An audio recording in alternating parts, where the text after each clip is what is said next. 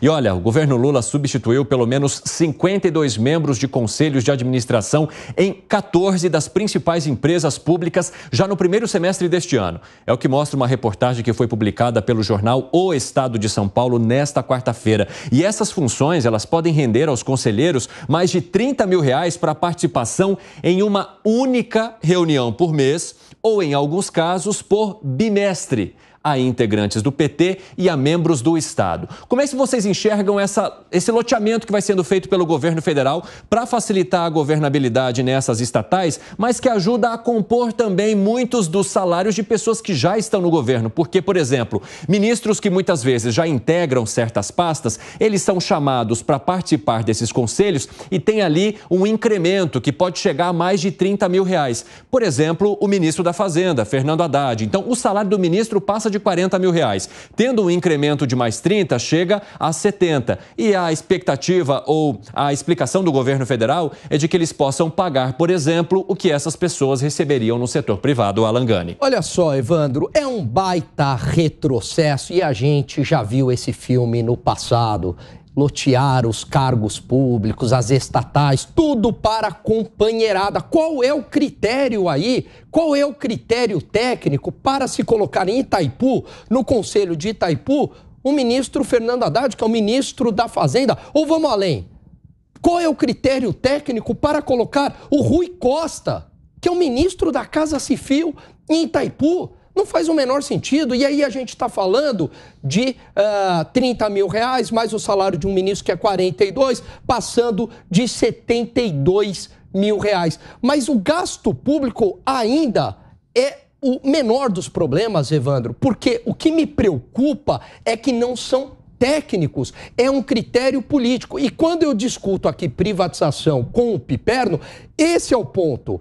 Quando é uma empresa privada, na sua busca pelo lucro, por mais que o empresário busque egoisticamente o lucro, ele tem que agir racionalmente. E agir racionalmente significa escolher os melhores técnicos, as pessoas mais produtivas, e tudo isso tem um efeito para a sociedade. No critério político, não, porque você está colocando lá quem é o seu aliado ideológico para agradar determinado partido, para conseguir apoio no Congresso. Por isso que eu sou a favor da privatização, para evitar esse tipo de indecência. Quando o Alangani cita aqui Itaipu, é porque o Conselho da Itaipu é um dos mais desejados porque é um dos que mais pagam. Então, por exemplo, e ele fala em alguns ministros, é que Fernando Haddad, Rui Costa, Alexandre Silveira, Esther Dueck e Mauro Vieira fazem parte desse conselho, além também da Gleide Andrade, que é secretária de Finanças do PT. Piperno, você acredita que seja uma forma de se trabalhar politicamente em cima de estatais e até alguma questão que desrespeite o dinheiro público, a exemplo do que menciona aqui o Alan Gani? Sobre o que mencionou o Alan, citando a companheirada, eu gostaria só de ler uma manchete de um, dos, de um, de um portal aqui. Tarcísio engorda salários de 11 auxiliares com participação em conselhos de estatais. É óbvio. É errado governador de São Paulo também não deixou de socorrer a companheirada. Essa tosse sua foi coincidentemente, agora, então, com a fala dele, né? Porque foi. na hora que ele começou, você tossiu. É, agora, tá errado também. Agora, vou, vou, vou ser contra. Vamos também. voltar para Itaipu. Volto que o Lula realmente nomeou essa turma Sim. toda aí, né? Aí, o que o Lula fez em abril, tá aqui, né? Aliás, também no Estadão, que fez, essa, que fez, essa, fez essa reportagem hoje, talvez tenha esquecido de mencionar própria informação dele de 8 de abril, ou melhor, de 6 de, 6 de abril. O presidente da República, Luiz Inácio, decidiu trocar os membros do Conselho de Itaipu. Foram exonerados três ex-ministros do governo Bolsonaro. Sim.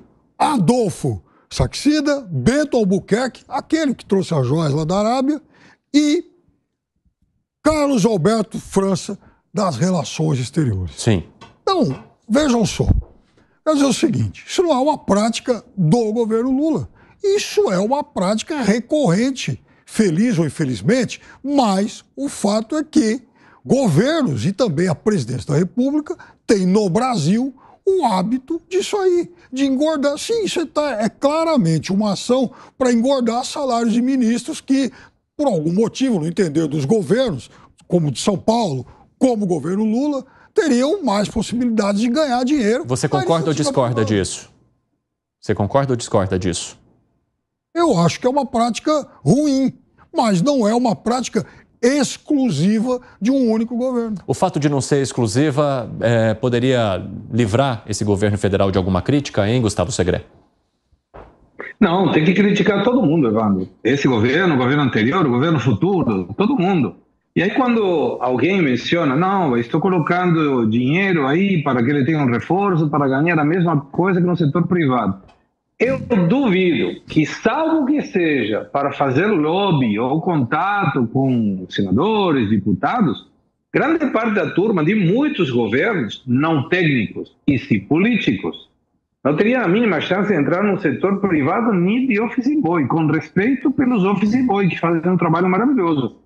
Porque você precisa ter questões técnicas para ocupar lugares no setor privado. Não é amigo de um ou devolução de favores do outro. Então, quando você vê que uma pessoa não técnica ganha 30 mil reais para ir a uma reunião ou duas reuniões em que somente pode aportar alguma coisa em função do cargo que ocupa e não do conhecimento que ele tem, claramente a situação está ruim. E aí pergunto, qual é a motivação de alguém estudar para ser melhor, para conseguir um trabalho melhor, para levar mais dinheiro para seu lar, quando basta ser conhecido de alguém para você ter um cargo de 30 mil reais para uma reunião por mês. É desmotivante. E aí eu faço uma provocação aqui para o Fábio Piperno e peço que coloque todos na tela para a gente poder acompanhar a reação de todo mundo e também estabelecer o nosso debate. O Alangani mencionou que a privatização, por exemplo, é uma das soluções para essa questão. Ou seja, embora ela mire muito o lucro, ela também busca pessoas mais técnicas, exatamente porque para ela conseguir chegar a esse lucro, ela precisaria trabalhar com maior tecnicidade. Você concorda com isso, Piperno? Não. Até porque, primeiro, ninguém está levando para essas empresas analfabetos, pessoas que não tenham nenhum tipo de conhecimento de relação com o mercado ou que não tenham alguma expertise, é, enfim, importante. Eu não vou nem pegar essa turma do Lula. Vamos lá, então, para os três ministros bolsonaristas que eu citei. Uhum. Então, por exemplo, o Saxida ele chegou a ser ministro depois das Minas, das Minas Energia, Sim. substituindo, inclusive, o Bento Albuquerque, o almirante das joias. O fato é o seguinte: se os dois foram ministros das Minas e Energia, eu não vou aqui, não, eh, não interessa o que eu penso sobre eles, mas eu estou imaginando que essas duas pessoas tivessem, no mínimo, algum tipo de expertise para atuar numa empresa do setor elétrico, como é Itaipu. Gani. Piperno, ministro de Minas e Energia em Itaipu, eu até entendo, e não necessariamente um ministro de Minas e Energia, ele vai atender a todos os critérios técnicos. De fato, você trouxe o Saxida e ele realmente é uma pessoa muito técnica, tem uma carreira de mercado, acadêmica, enfim. Agora, qual que é o meu ponto? Em Itaipu, qual que é a relação aí? Não me parece que é um critério técnico. Me parece que é muito mais um afago a esse ministro do que um critério técnico. Já no setor privado, o critério técnico ele iria prevalecer. Até poderia ser um ex-ministro, mas desde que tivesse relação com a função e que também tivesse uh, os seus critérios técnicos atendidos. Veja, em momento algum eu defendo o ministro Rui Costa eu acho um mau ministro, eu acho que ele adota práticas ruins, ajudou inclusive é, indicar lá a esposa dele para o Tribunal de Contas da Bahia, salário vitalício de mais de 40 mil reais por mês. Então eu não tenho nenhum motivo para defender o ministro Rui Costa. Mas Só esse que, cara tá aí, tá aí Então, pera lá, aí que vem a questão. Então a gente está exatamente analisando o conceito ele é um ministro político. Vamos voltar aqui para a Berta, né? Porque o Gustavo Segre, a gente perdeu a conexão com ele. Vamos voltar para cá para a gente levar o debate aqui. Perfeito. Fala, Piper. Ele é um ministro político. A gente está falando de uma empresa binacional uhum. que também age politicamente. Ela tem que ter essas relações. Então, ele, em tese, poderia ser, inclusive, um facilitador de, nesse, nesse sentido, nesse campo no campo político. Você acha que Mas... ele está tentando encontrar alguma explicação para a presença ou manutenção do ministro neste cargo? Hein, ah, eu acho, viu, Piper? Sabe por quê? Porque o ministro Fernando Haddad, ele já faz esse papel. Inclusive, eu aqui é, eu dou a mão à palmatória, ele tem sido elogiado por congressistas, até por alguns setores do mercado financeiro, de ser um bom articulador político. E realmente o ministro da Fazenda precisa disso. Então, ok, o Fernando Haddad ainda tem alguma explicação, mas o Rui Costa, e daí você só coloca pessoas com critérios políticos nesses cargos, é, eu acho que é, acaba gerando uma ineficiência que acaba sendo por exemplo, paga por nós. Carlos França, uhum. ministro das Relações Exteriores, que o Bolsonaro indicou, né? Ele é o ministro das Relações Exteriores. A gente está falando de uma companhia binacional. Eu não sei se ele tem alguma expertise ou não com o tema, mas ele é alguém que supostamente tem expertise para tratar de questões agora, bilaterais. Agora, sabe qual é o meu ponto, Piperno? Numa empresa privatizada, a gente nem estaria discutindo. Mas sabe por quê? Ah, Porque não seria isso. pago por nós, seria pago lá pelos, pelos acionistas da empresa, seria pago pela própria empresa, não pela gente.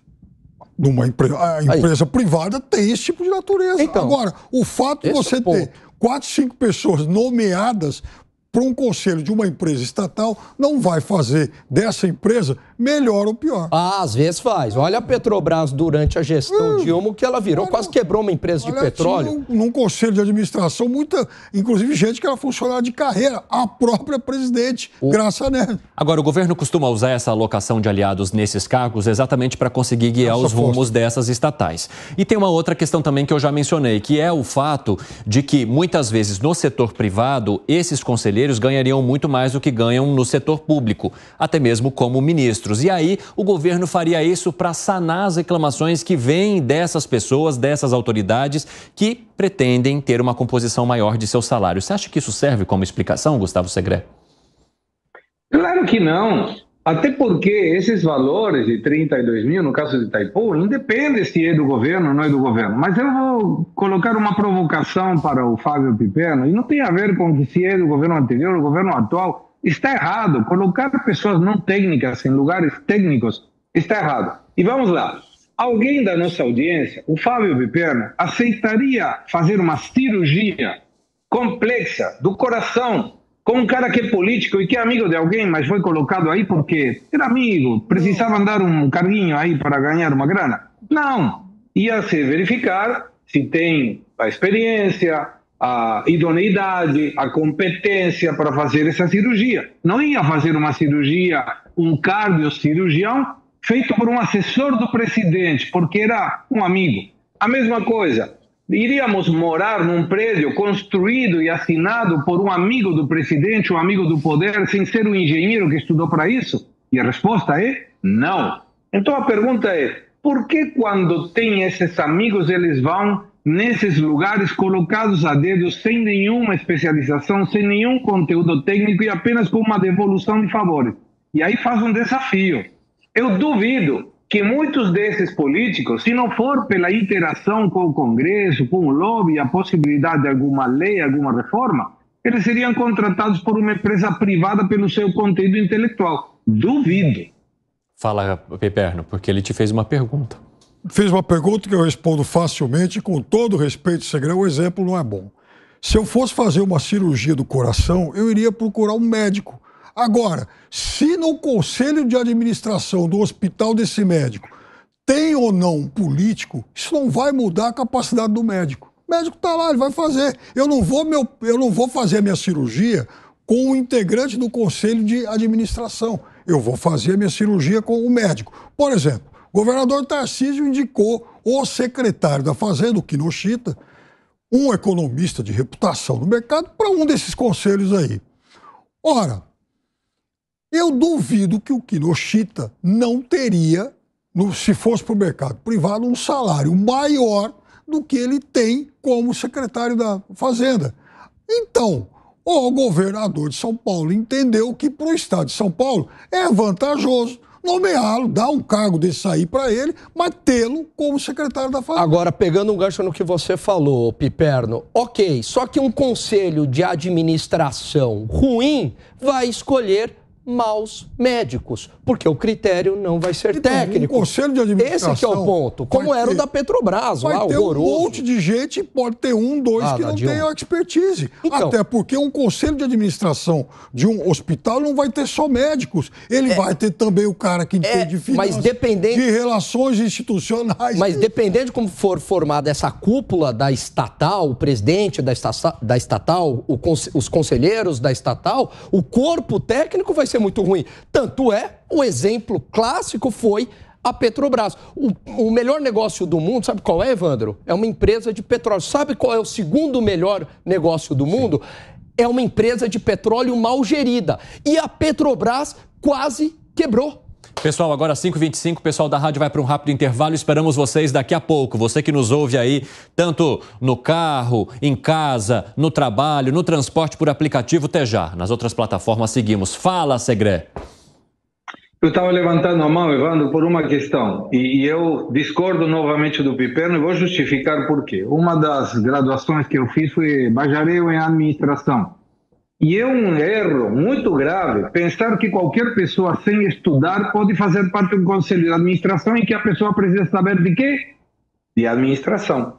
Esse exemplo que eu dei, que eu dei sobre a questão do cirurgião explica que cada profissão tem que ter a pessoa que sabe dessa profissão. Então, claro, você não vai fazer a cirurgia com uma pessoa do conselho de administração. Mas a pergunta é: por que eu, que deveria estudar para ser cirurgião e não estudei, não posso ser cirurgião porque não tenho a competência?